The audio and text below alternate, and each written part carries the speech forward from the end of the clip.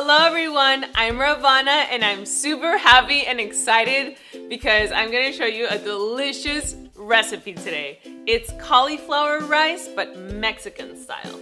It's so delicious and nutritious. This cauliflower rice is perfect to substitute your normal rice. And this recipe is also part of the challenge hashtag MeTooFit.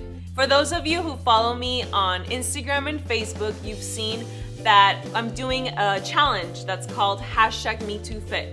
So another YouTube channel invited me to participate in their channel and do a challenge for them. It's not a 100% raw vegan uh, challenge, but it's all about raw fruits and vegetables. It's to invite other people to eat more raw fruits and vegetables and exercise I invite you all to participate in it. You can participate on Facebook, on Instagram, and even here on YouTube, just upload, uploading your pictures using the hashtag MeTooFit. But anyways, I'm gonna leave all of the information of the challenge and the links below because I've already done some delicious recipes for their channel. So be sure to check those out. All right, so it's too much talking. Now let's get on with the recipe. All right, so what are you gonna need? We're gonna need, obviously, cauliflower, and isn't nature amazing? It's just, I'm amazed. Cauliflower is part of the cruciferous vegetables which are known to fight against cancer. Cauliflower is also very rich in vitamins and minerals that are essential to our body, like vitamin A, vitamins B, and vitamin K. Also, remember that when you're cutting up the cauliflower, make sure to remove all the middle part since it can taste bitter. this rice is Mexican and you can't have a Mexican recipe without cilantro. Oh, I, I, I, just love cilantro. I, I can't get enough of it. Next, I'm gonna use one strip of green onion and I've already gone ahead and cut it up. And of course, if we want it to be Mexican, we have to make it a little spicy. So I'm gonna add a little bit of serrano pepper and this is optional, of course. The next ingredient is gonna be the juice of one lemon and one to two tablespoons of tahini. And if you don't have tahini, you can simply use sesame seeds, it's fine.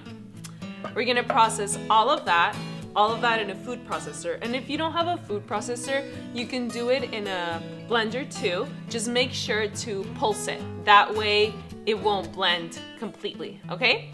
And finally, we're gonna mix it in with some bell peppers, some yellow and red bell peppers. And a fun fact about bell peppers is that if you take all of the fruits and veggies, they're the ones with the most vitamin C of all of them. And finally, an optional, you can add some avocado and just cut it up and put it in there. That way it will be like super, super Mexican. Ready? Let's do this. So the first thing that we're gonna do is that we're gonna cut up our cauliflower and I've already gone ahead and cut some up. But if you want to cut it up into bigger pieces, that's fine too. We're gonna put that in the food processor along with our cilantro, our green onion, serrano pepper, lime juice, and tahini. We're gonna process that really, really well until it gets like a rice consistency.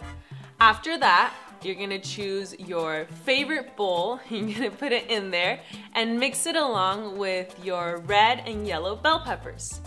Then it's done. And as I said, optional, you can even add some avocado and I think I'm gonna add just a little bit to make it even more tasty. I'm gonna try it. Oh, so good. Yummy.